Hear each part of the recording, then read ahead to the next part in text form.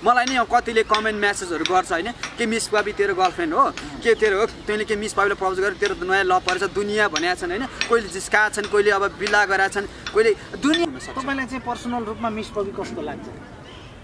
उहाँ अब आफ्नो ठाउँमा राम्रो हुनुहुन्छ होइन? अब मिस पपीसँग चाहिँ अब हामीले चाहिँ अब यस्तो यस्तो उस्तो अब मन पऱ्यो यस्तो त एकदम राम्रो यस्तो माया गर्छु। लाइक यस्तो टाइपको भाइब्सहरू देखाएर यस्तो टाइपको चाहिँ एकदमै क्लोज त होइन अब हाइहालो सधैँ भने एकअर्का क्लोज भइँदैन। कतिपयले त एकदम बिहे पनि हुन्छ यिनीहरूको बिहे हुन लागेको छ बाहिर लुकाएका छन् भनेर भनेर हामी के भन्नु? यो विषयमा चाहिँ पहिला अन्तर्वार्ता फुल हेर्नुहोस् त्यसपछि मात्र भन्नुहोस्। नमस्कार दर्शकबिन यहाँलाई स्वागत छ सम्पूर्ण मिडियामा। आज हामीसँग हुनुहुन्छ कलाकार टिकटक स्टार रिदम छेत्रीजी उहाँलाई हेन्सी भनेर पनि चिनिन्छ।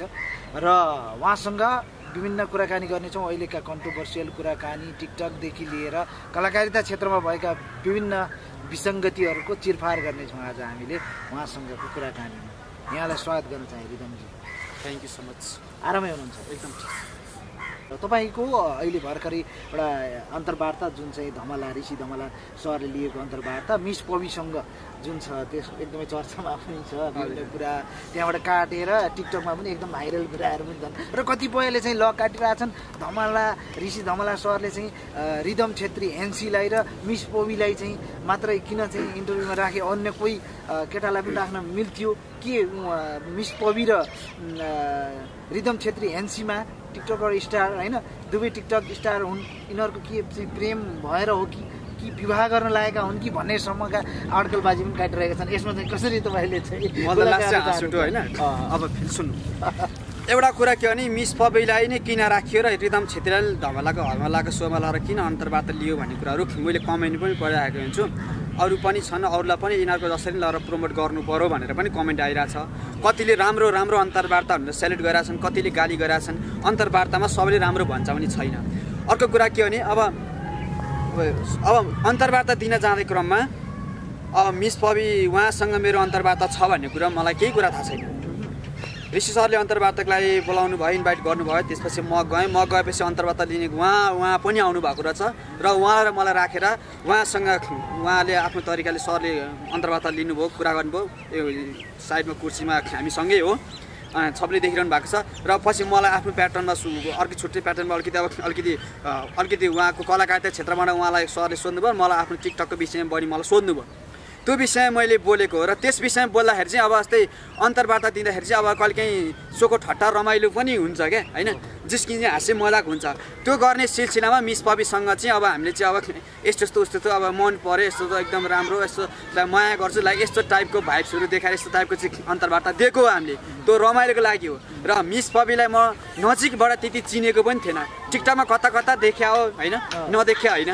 र मिडियामा अन्तर्वार्ताहरू उहाँको एक दुईवटा हेरिएको पनि हो। र उहाँलाई भेटेको भनेको त्यही दिन भेटेको। पहिलोचोटि भेटेको हो।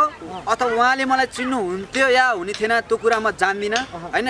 अब मैले पनि उहाँलाई फाटापुट्टादेखि टिकटक भाइरल भनेर चाहिँ मान्छेले देखिरहेको भने देख न यो भिडियो चाहिँ हेरिरहेको हो। होइन? त्यहाँनिर हाइहाल्नु भयो। अनि त्यसपछि सँगै अन्तर्वार्ता भयो। तर उहाँ र मेरो जुन त्यो मान्छेले भने नि हेर्दा चाहिँ अब साँच्चीकै त्यो अब उयो आएको छ होइन? केही छैन। जस्ट एज अ फ्रेन्ड छौँ। उहाँलाई म साथीको रूपमा हेर्छु। मलाई पनि उहाँले साथीको रूपमा हेर्नुहुन्छ। हामी चाहिँ के हो भने साथीको रूपमा छौँ। होइन एउटा साथीसँगै अन्तर्वार्ता दिने क्रममा भेटिएको साथीको रूपमा त्यसरी लिन्छौँ। अब मिडियामा त के के आउँछ आउँछ नि यहाँ दुनियाँ आउँछ। ए मलाई नि कतिले कमेन्ट म्यासेजहरू गर्छ होइन के मिस पाबी तेरो गर्लफ्रेन्ड हो के तेरो हो तैँले के मिस पाबीलाई प्रपोज गरेर तेरो नयाँ लभ परेछ दुनियाँ भनेका छन् होइन कोहीले जिस्काएका छन् कोहीले अब बिल्ला गरेका छन् कोहीले दुनियाँ थरिरहेको छ मिडियामा त भ्युज चाहियो नि त छ होइन यहाँ जे पनि हालिन्छ नि त कन्टेन्टदेखि लगाएर टाइट हरेक कुरा आइरहेको छ नि त्यसको पछि लाग्नु जरुरी छैन।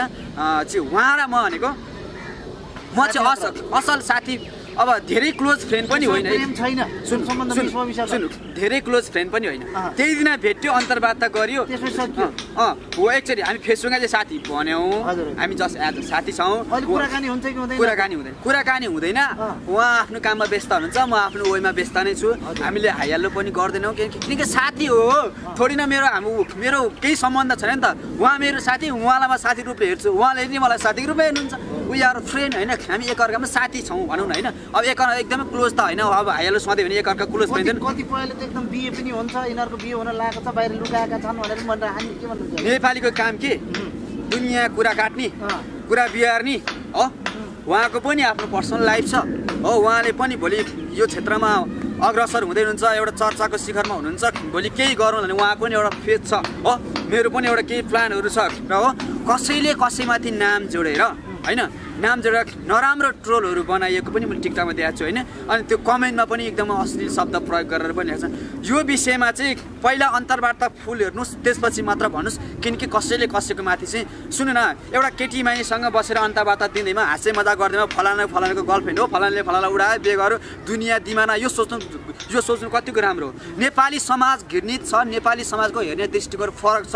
त्यही भएर त नेपाली समाज बिग्रो कारण किनकि नेपाली समाजको जनता नै सबैलाई भन्दिनँ कुनै किन जनता नै ठिक छैन क्या? गलत कन्सेप्ट भएकाले सोच्ने हो। यो यो सोचाइ चाहिँ बुझेर बोल्नुहोस् फेरि बिचामा नचाहिने बोल्यो भने चाहिँ यसको रिजल्ट तपाईँहरू आफैले भोग्नुपर्ने पनि हुनसक्छ तपाईँलाई चाहिँ पर्सनल रूपमा मिस पवि कस्तो लाग्छ?